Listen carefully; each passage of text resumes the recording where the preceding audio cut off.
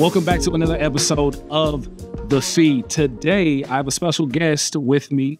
Well, you got to see him in a second, Mr. Jake Ehrlichmann. So, Jake, say hello to the people. Hello, Ottawa people. How's everybody doing today? They said that they're good. so I'm glad to have you. Um, give people a quick rundown of your history in automotive. You can talk about our history, but don't don't get too don't get too specific. No worries. Yeah, I've, I've known Charles for God, I would say about eight nine years now. Um, so history for me, I've been in the business for 25 years. I started in 2000 actually cleaning cars at a Subaru Saab and Kia lot uh, in Minnetonka, Minnesota. Uh, from there, I've done just about every job within a dealership, um, from sales to sales manager to sales director, um, and also spent about five years working for Auto Alert as a trainer and then as a training manager and director.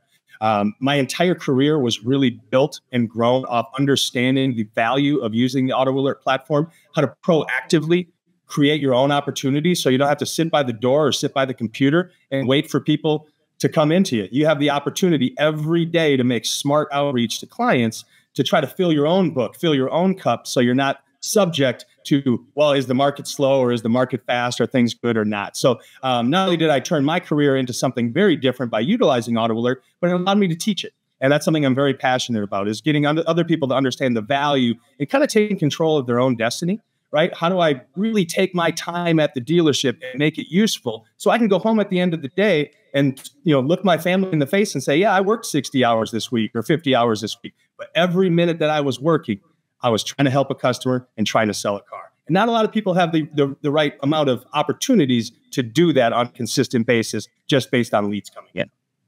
I, I hear that. And speaking of using your time wisely, look, it's football season and it's the fourth quarter. So we're going to do that play on words, but let's let's put our heads in the minds of a fourth quarter car dealer. Uh, the first thing I wanted to bring up is vehicle affordability and new car pricing and any any specials. How do we wrap our heads around what's going on in the market today, and then get through the rest of this year and set ourselves up for the next year? So this is a, a, big topic around the industry right now, really big topic at Walser Automotive Group because of the different brands that we carry. Now, there are differences between brands right now that are actually a wider gap than we've seen historically.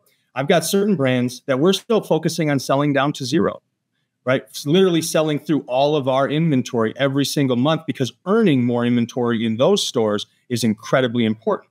Now, a lot of people would think, hey, if you're trying to sell down to zero, you're going to sell every vehicle at sticker price.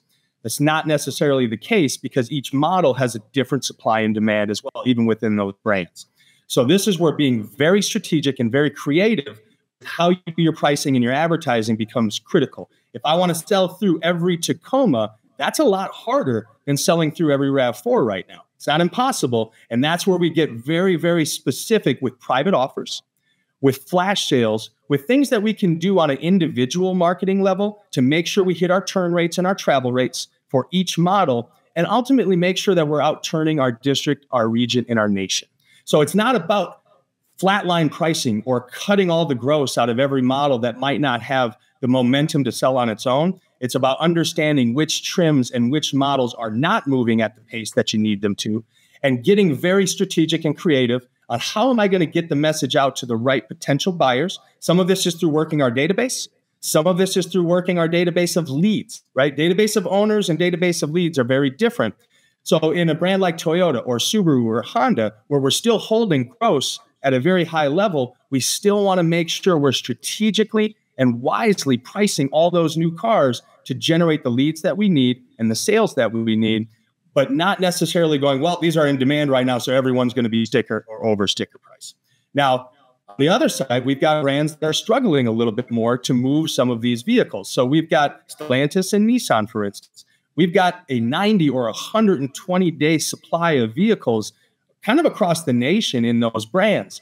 So the the the days in COVID where we could say, hey, everything is worth a lot of money, everything deserves to grow. It's not really the way we have to look at certain brands right now. We need to make money. But if I'm trying to make two, three, four thousand dollars in profit on vehicles that don't have the demand right now, what I'm going to do is start stacking up floor plan. and I'm going to start spending a fortune just to keep these cars in stock. So, really getting deep into your travel rates, getting deep into your turn times, and go, hey, if I've got an you know an eight eight month supply of gladiators right now, guess what? I've got to get very aggressive, very strategic to move those cars. I've got to understand my manufacturer programs better than the manufacturer rep even understands them, and that takes a lot of work. And I've got to really get in the weeds to say, how can I match buyers to these cars and get them to take the, the opportunities that I have? And if you're not really, really focusing on your turn times, your travel times, it's going to be really hard for you to know what you should and shouldn't accept in your allocations, right? Three or four years ago, two years ago, even, there was no turn downs. Everybody was accepting everything. And we kind of overdid it like as an industry. We kind of overdid it. We kind too many cars, right? and and now we're sitting going, how? Well, now we're just back to the way we used to sell cars, the way things were pre-COVID, pre-vehicle shortage. And this is where our marketing plays become very, very important. This is where things like the conversation around CVPs become very important. I want to know every communication that is going out to every customer through every source so I can follow their path and make sure that my outreach and my follow up from existing leads, existing customers is timely. And all of that comes into, in many cases, getting your staff excited and bought in to your deals. So, one of the things that we do is every month, at the beginning of the month, we put together a very, very strategic plan that is model by model. And we put together specials and price leaders, really trying to avoid, avoid flatline pricing, right? Cars should be priced based on availability, age, desirability of the options and the colors and things of that nature. But when you get those specials out to your team and your team looks at you and goes, How in the heck did you do this? That's when you know you're going to have the momentum and the excitement for how they're handling those leads, how they're reaching out to customers. So just saying, hey, we're going to price everything at $500 over invoice, or hey, we're going to keep everything at sticker, try to negotiate prices from there. That's typically not going to get you the leads and the close rate that you need to move the inventory so that we can reduce some of these massive day supplies at the brands that need them. So, really, in conclusion on this topic, depending on what kind of store you are, what kind of group you are, understanding that my strategy at a Stellantis store is very, very different than my strategy at a Toyota store. But also at a Toyota store, understanding my strategy on a Crown or a Tacoma is very, very different than my strategy on a RAV4 or a Highlander. Those are the things that we're looking at every day to make sure that we keep the momentum going on every model. Again, with the goal, I want to outturn every one of my competitors, everyone in my region, everyone in my nation, in the nation, every single month on every model, if possible. Right. And it kind of, you, you touched on a few things there you're not begging for more leads. Correct. Your strategy is going in to kind of dictate how I'm handling these particular subsets of leads because the leads are going to come, but then you put that strategy in to game the types of leads you're going to get. And 100%. Now, floor plan, you, you, you have to. The, the leads are going to come. Now, I can I can say the leads are going to come from a Walser perspective. We have a fantastic marketing department. Like they are dialed in.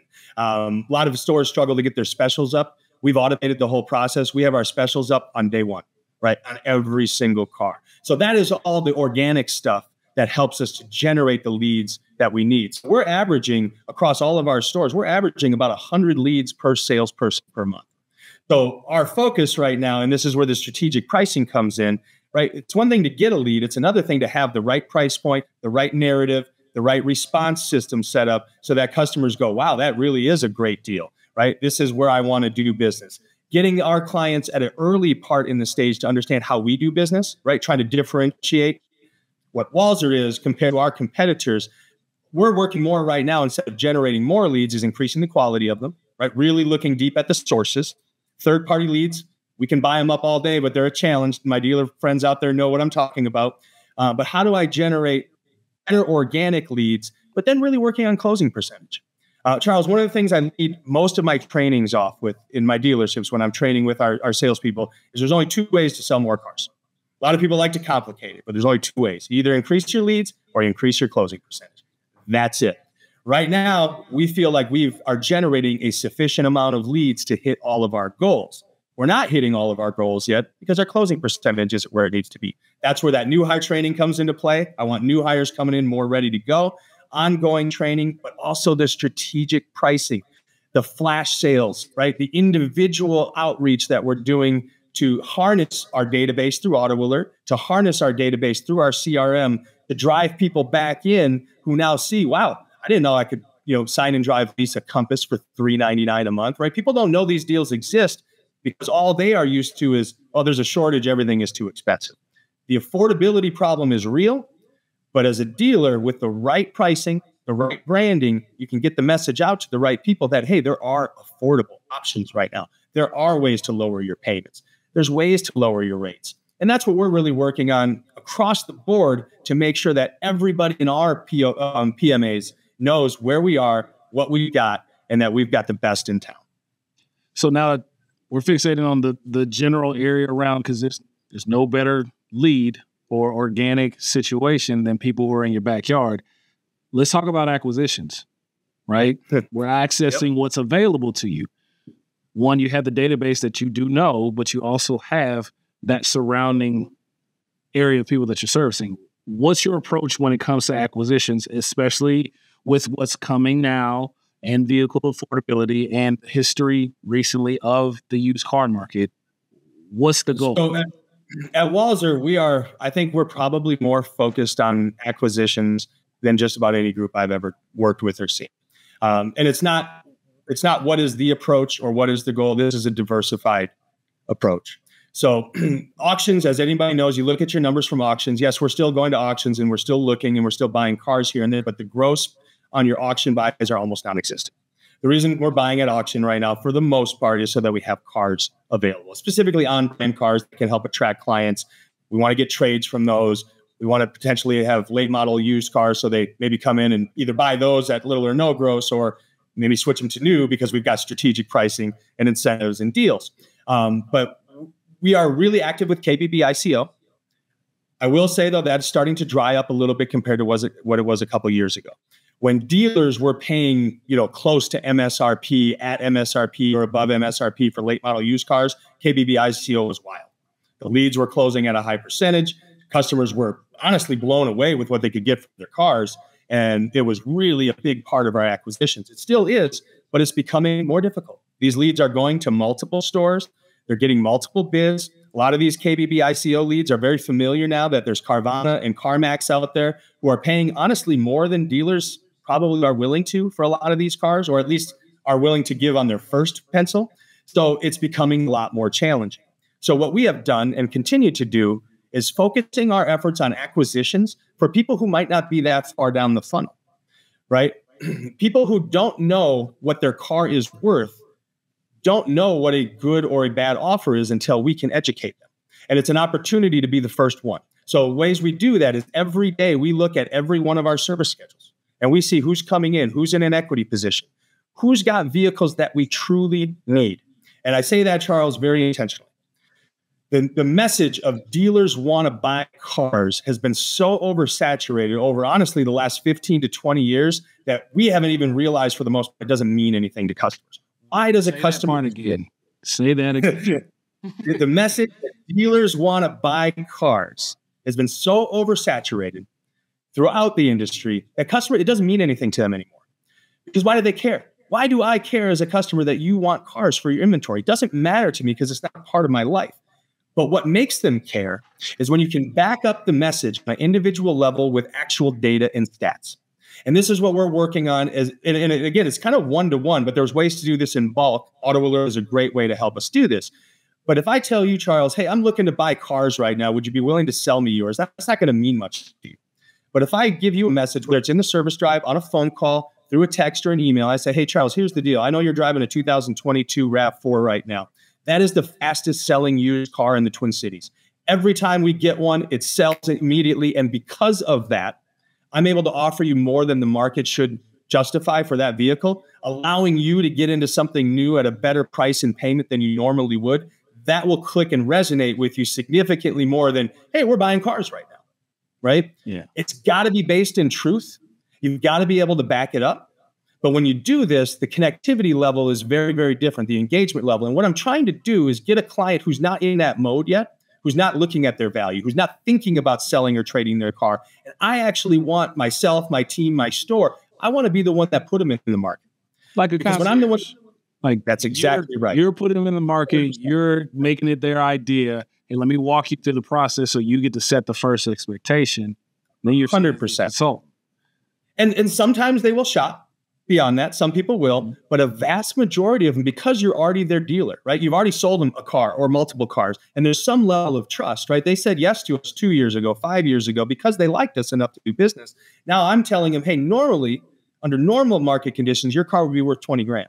But because I don't have one on my lot, and it's got to be true, right? They're going to sniff it out if it's if you're, you know, hey, I've, I've actually got 94 2022 RAV4s, and I'm calling to tell you I don't have any. Like that's not a good message. Right? You're going to sever some relationships, right? But I tell you, I don't have one, and you look at my inventory and you go, he doesn't. I understand why. now, now the connectivity is there, and hey, normally I would be offering 20 grand for this car. But because I don't have one, because I reached out to you, you didn't reach out to me. The only way I'm going to earn your business is if I do something above and beyond the ordinary. So because of that, I'm going to offer you twenty thousand seven fifty to buy that car or sell that car, whatever it may be.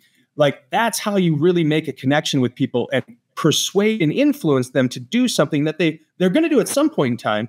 But I want to be the one, and I want my store to be the ones that put them in the market. Yeah, and that kind of goes to your branding and this is what you can expect from this type of organization. Also, you already said yes once. You know, you already said yes. Let me introduce. Allow me to reintroduce myself. So, and then the, the service the service drive is a big part of that too. Um, service to sales. There's every dealership who's listening to this.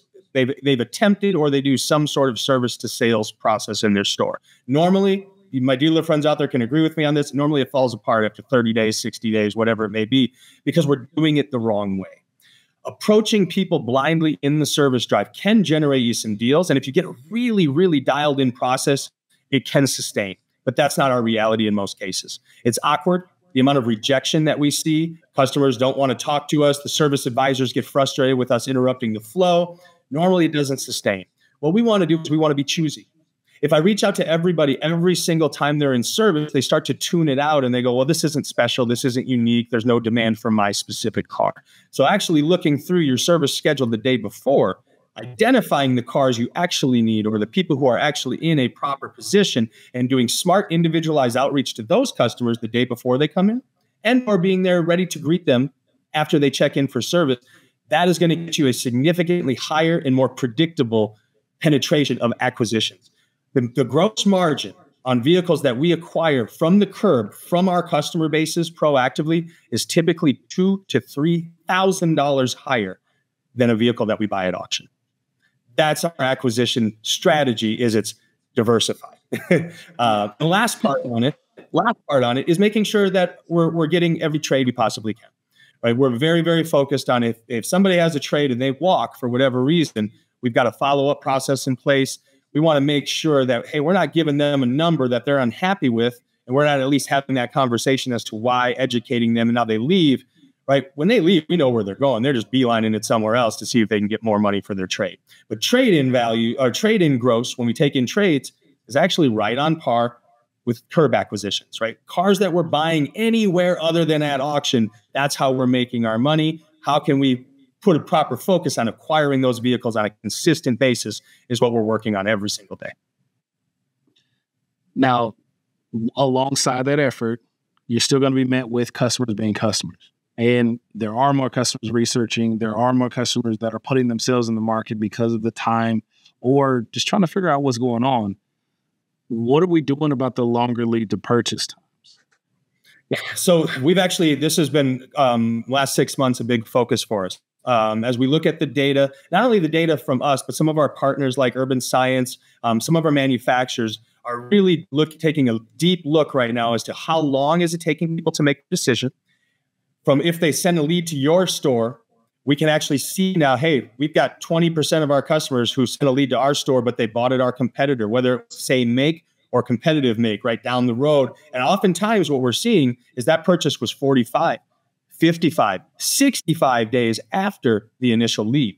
And what's happening with this, and we should have probably been more anticipatory of this happening, is the cost, as we all know, and the affordability of vehicles has changed, right? And people are really strapped right now in their budget. So they're looking much harder, much closer, and longer at what are the options, what are the pricing, What are the rates? What are the payments going to be? We always kind of lived with the, uh, the impression that from a lead to seven days, man, seven to 10 days, that's about how long it's going to take a majority of people to make a decision. On new cars, that's changed. And those lead times are now starting, or those purchase times are starting to average 30, 45, 60 days, depending on the manufacturer. So we've implemented a few things. One is AI long term follow up. So when we look at the data, customers who buy engage after they send a lead within the first five days at 96% of the time. So a lead comes in, they engage in back and forth conversation within the first five days. Of the cars we sell, 96% of the people who buy from us engage in that period of time. So I don't want my sales team necessarily for unengaged leads getting two or three tasks a day for 30, 60, 90 days.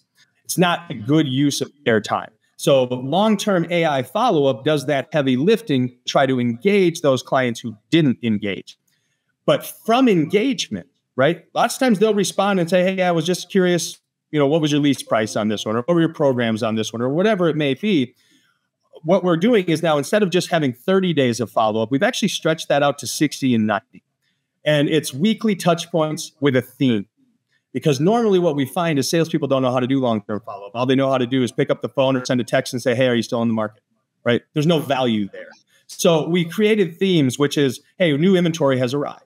Right? We've had price drops here. Hey, there's actually a new model coming out, and we just got a shipment of this. All right, we've just had a rate drop. So when when your follow-up stretches beyond the first four or five days, you've got to mix it up if you want engagement. You've got to have a different theme, a different reason you're reaching out. Otherwise, what you'll find is that your sales team is being robotic or they're faking it. And everybody, all my dealer friends out there know what I mean, right? LVM, LVM. Right? LVM. Yep. yep.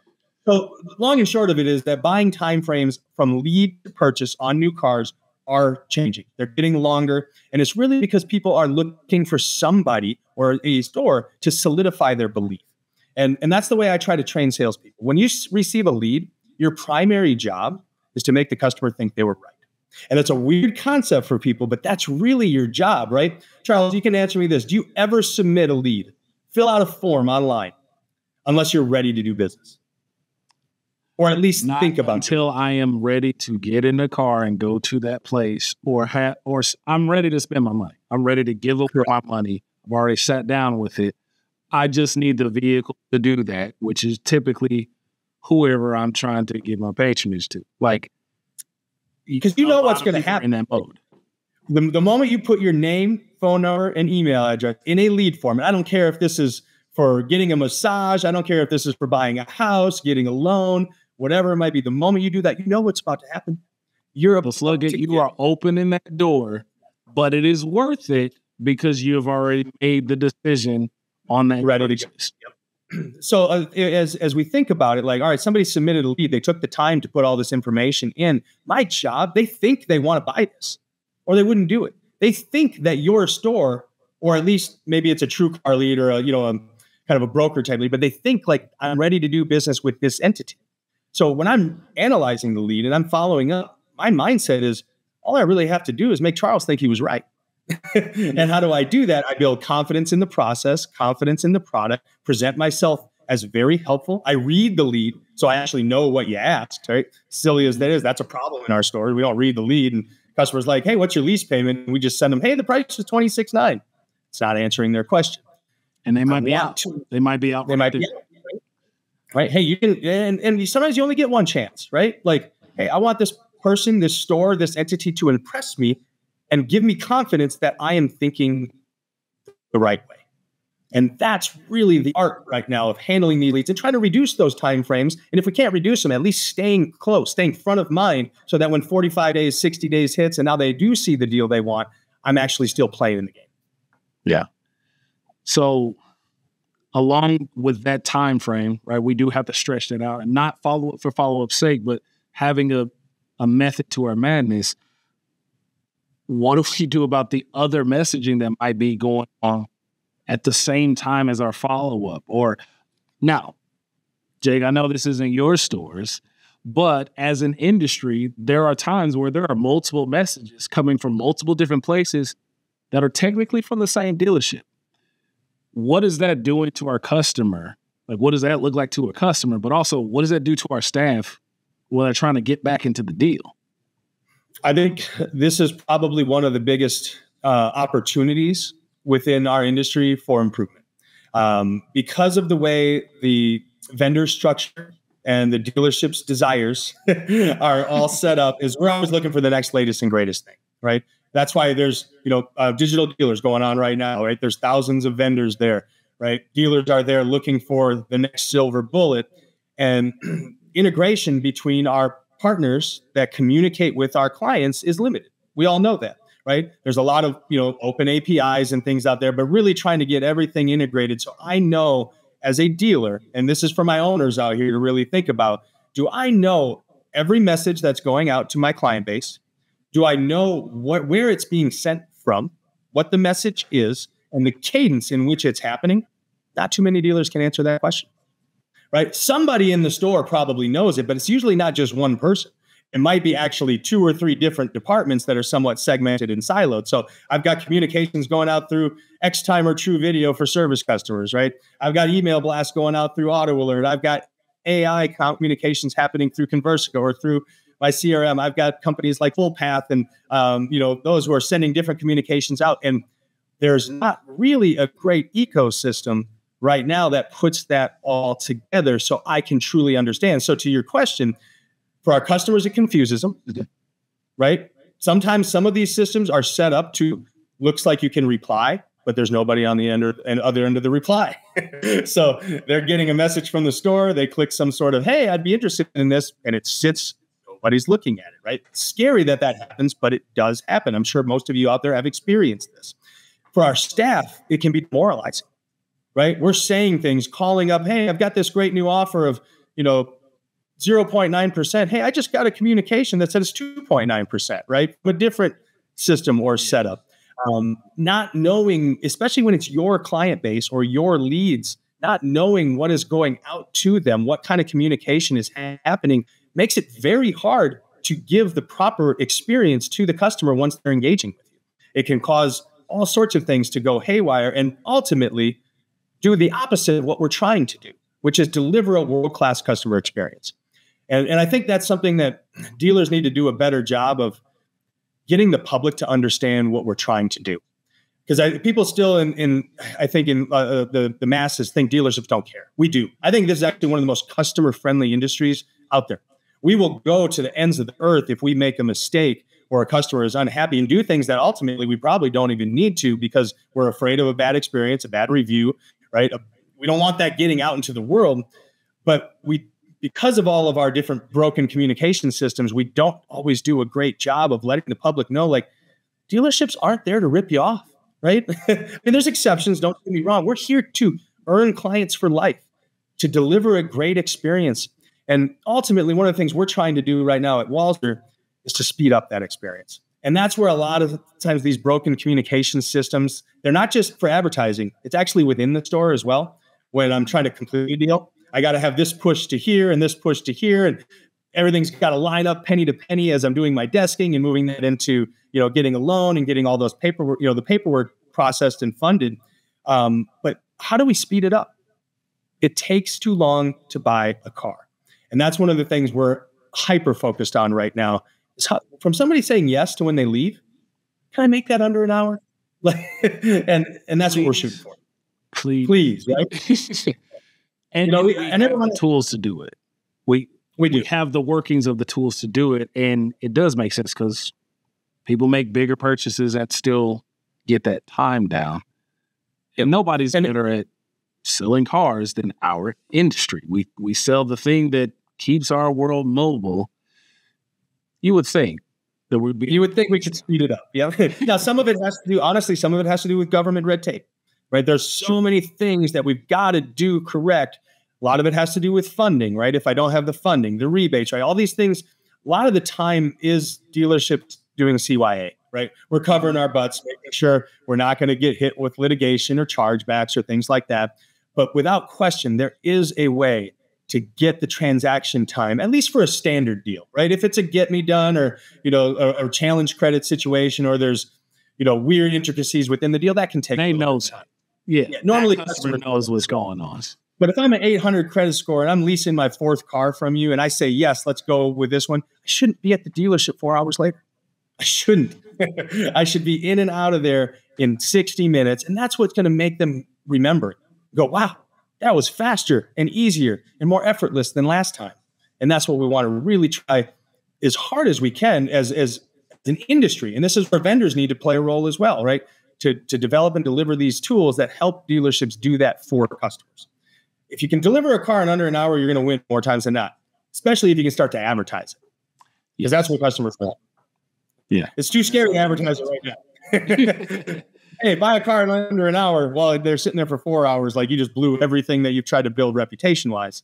Um, but it, it is, to your point, it's possible and we need to do better. So, by your summation, what would need to happen or what type of tool would you look for if we were in a perfect world? So, at Walser, we are actually developing um, we, have been developing it for 15 years. We have a proprietary software that we are um, part owners of investors and called Fuse. Um, Fuse is a digital retailing tool that's not just for online, but it's actually in store, and we use it for every single car deal. So it instantly desks everything down to the penny. It allows us to push the deal to um, paperless signing, and really allows everybody in the dealership to cashier a car deal. And that's what that's the problem at most dealerships. Now, at Walser, we're different because we don't have finance managers. We are a single point of contact. So it goes from start to finish with your salesperson. And we have empowered them through Fuse to actually be able to transact a car deal without a manager. And that is helping to speed up the process. We still have managers who are looking at them, making sure everything is right. We've got all sorts of different roles to help with billing, titling, and all that sort of stuff, you know, to make sure things go down properly. But when you say yes to me at most dealerships, if I'm the salesperson, I've got to fill everything out, put that in the finance manager's like wall folder, usually second, third, fourth, fifth in line, depending on how busy the store is, right, on that particular day. Then they have to take everything, get it processed. Now you're sitting on the couch for two and a half hours. Salesperson keeps coming back to you and saying it's just going to be five more minutes, like 45 times, until you finally get to the office, sign out for a half an hour, and then you leave. Oh, that, that process got to change. It's got to change if we really want to deliver what clients want, which is, hey, I want to buy a car. I want it to be transparent. I want it to be easy, and I want it to be fast. And it's very hard to do that when you have that bottleneck of, well, there's only two or three offices in the dealership in which you can actually transact a deal. A deal. So um, technology, there's others out there, but we have been developing and utilize Fuse, and it's it's really helping us achieve our goal. Now, how do you tie that? We, we talked about all these different systems that's going to handle the deal portion. Are we we pulling that in via API to a CRM, or what's the plan? So all, all of that is uh, open API to our CRM. So once a deal and to the DMS. So once a deal gets booked, all that does parse into the CRM. Um, but we actually do utilize at Walser, we utilize a CDP.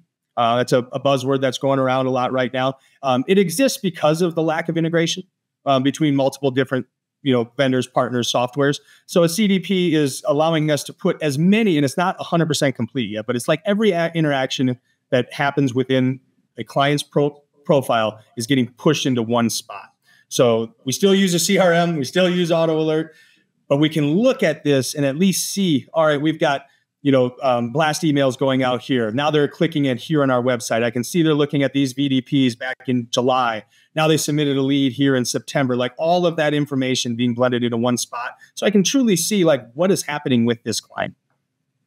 Awesome.